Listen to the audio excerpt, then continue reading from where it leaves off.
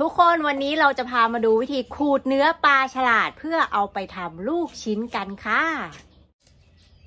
นี่ทุกคนอันนี้คือเนื้อปลาฉลาดนะ นี่ที่แล่ออกมาแล้ว อันนี้คือแบบเป็นตัวตัวๆเผื่อใครยังไม่รู้นะ มันจะคล้ายๆกับปลากรายไหมพ่ออืมแล้วมันต่างกับปลากรายยังไง ตัวน้อยกว่า ตัวน้อยกว่า แล้วปลากรายมันจะมีจุดๆตรงนี้ใช่ไหม อืมอ๋อแล้วเนื้อมันอร่อยต่างกันไหมอันไหนอร่อยกว่า มันก็เหนียวเหมือนกันไหมมันก็เหมือนกันนะเออ นี่นะอันนี้อันนี้มือแร่ดูวิธีแร่นี่ มีดต้องคมใช่ไหมแม่ ถ้าไม่คมอะ ไม่ขมก้นเข่าอะนี่ต้องใช้ฝีมือนะ ไม่งั้น นิ้วกับเนื้อก็ อาจจะไม่เหลือ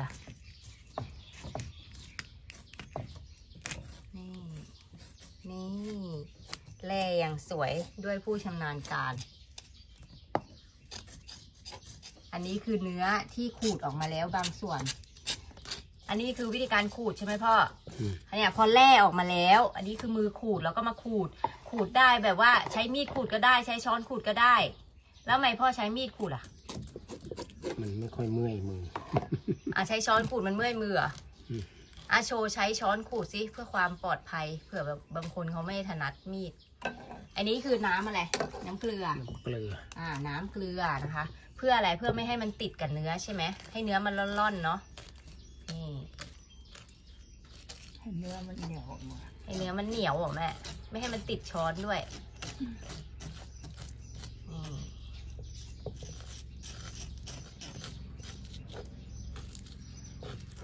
หนังปลาเอาไปทำอะไรได้อีกพ่อทอด ทอดกินใช่ไหมอร่อยเลยนะ อันเนี้ยหนังปลาฉลาดที่เอาไปทอดกินเนี่ยอร่อยมากเลยนะ หนังปลานะอันเนี้ยไม่ใช่หนัง ไม่ใช่หนังอะไรนะ ตัวเงินตัวทองนะ ที่เป็นขาวอะ ที่ว่าเอาหนังเอาหนังตัวเงินตัวทองไปทอดเป็นหนังปลาทอดอะ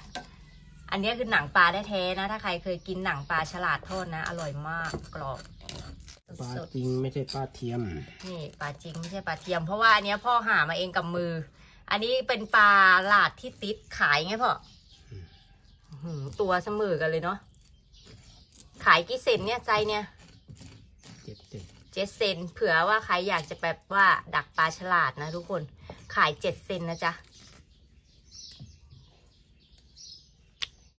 แล้วเนื้อเนี่ยหลังจากนี้คือมันเอาไปทำกินได้เลยแม่หรือเอาไปโขก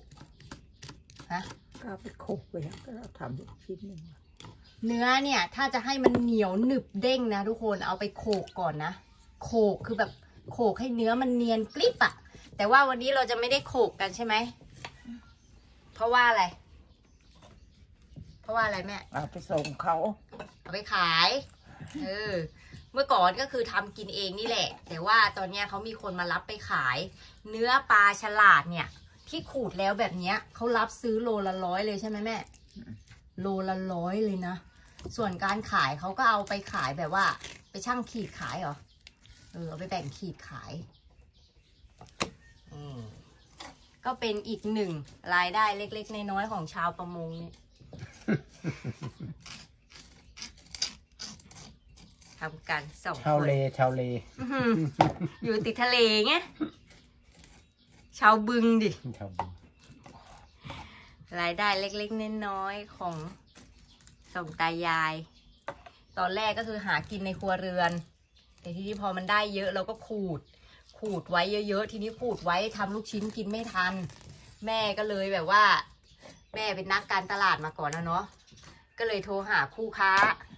อืมแล้วทีนี้คู่ค้าเขาก็แบบว่า โอ้ยเอามาเลย เดี๋ยวจะรับไปขาย ให้โลละร้อยเลย คนอื่นนี่ซื้อโลละแปดสิบนะ ถ้าซื้อยายแอร์เนี่ยซื้อโลละร้อย นี่ นี่เครดิตล้วนๆเลยนะนี่ พ่อขอบใจแม่ยัง พ่อเงินนี่เข้ากระเป๋าพ่อนะเพราะพ่อเป็นคนหา ใช้เวลากี่ชั่วโมงในการหาในการยามขายเนี่ยจากก็หกโมงกลับสองโมงเงี้ยโอ้สองชั่วโมงนะ สุดยอด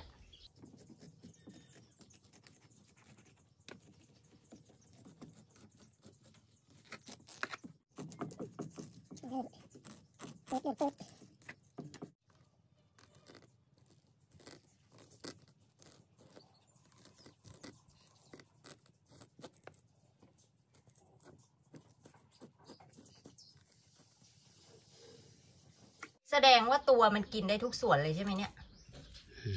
นะถ้าเป็นตัวแบบนี้เอาไปทำอะไรกินได้บ้างพ่อทำปลาร้าก็ได้ทำลูกชิ้นปลา นี่ลูกชิ้นก็จะได้เป็นเนื้อมางี้ แล้วก็มาขูดแบบนี้ แล้วก็จะได้เนื้อแบบนี้ แล้วก็เอาไปโคลกให้มันเหนียวหนึบ แล้วเนี่ยหนังมันที่เหลือก็เอาไปทอดกินได้นะ ก้านนี่ก็ทอดได้นะ ทอดแบบทอดแบบหนังนั่นแหละ มันก็จะกรอบกรอบๆ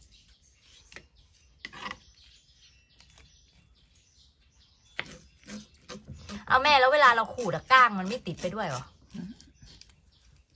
ก้างมันก็เยอะไม่หนักอ๋อ นี่ก้างมันจะอยู่นี่ เห็นไหมก้างมันจะเป็นก้างเล็กๆเล็กๆเล็กๆฝอยๆมันจะติดอยู่ที่หนัง มันจะไม่ติดไปกันเนื้อใช่ไหมนี่เนื้อมันก็จะเป็นแบบนี้ ใสๆเนียวๆอย่างนี้ ใครเคยทำลูกชิ้นปลาฉลาดเองบ้างนะคะ หรือว่าใครที่มีวิธีการทำลูกชิ้นปลาฉลาดที่แปลกแตกต่างไปกว่านี้ก็มาคอมเมนต์นะคะ แลกเปลี่ยนกันได้นะจ๊ะ